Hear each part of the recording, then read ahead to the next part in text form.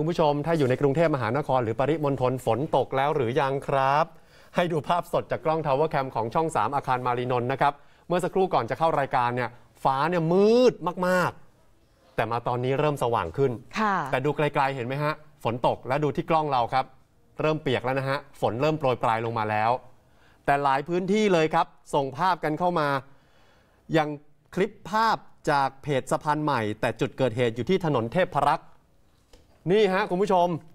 โอ้โหภาพเป็นอย่างนี้ครับ ต้นไม้ล้มไปหลายต้นเลยนะคะ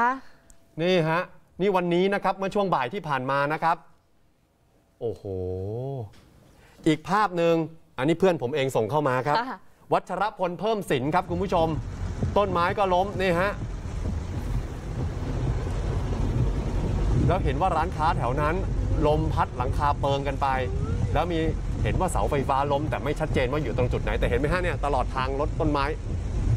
ล้มหลายต้นเลย แถวบ้านคุณผู้ชมเป็นอย่างไรกันบ้าง วันนี้ต้องยอมรับนะฮะคือพี่ยุทธนะฮะเมื่อเช้านี้นำเสนอข่าวของอาจารย์เสรีสุพัทรทิตนะฮะผอศูนย์การเปลี่ยนแปลงสภาพภูมิอากาศและภัยพิบัติมรังสิต บอกว่ากันยาตุลาพฤศจิกา 3 เดือนนี้ ประเทศไทยอาจจะเจอฝนร้อยปี หนักมากแล้วอาจารย์ไปเทียบกับเกาหลีค่ะภาพเกาหลียังติดตาเราอยู่เลยนะกฮะรุงโซลที่ว่าตกหนักมากๆ อันนั้นน่ะเขาฝน 80 ปีนะ แต่ไทยเนี่ยอาจจะเจอฝนร้อยปี คือหนักที่สุดในรอบร้อยปี แล้วคนก็นึกถึงปี 54 ทันที เพราะอะไรอาจารย์เสรีเคยพยากรณ์ไว้ก่อนไง ว่าปีค่ะ54 จะมีอุทกภัย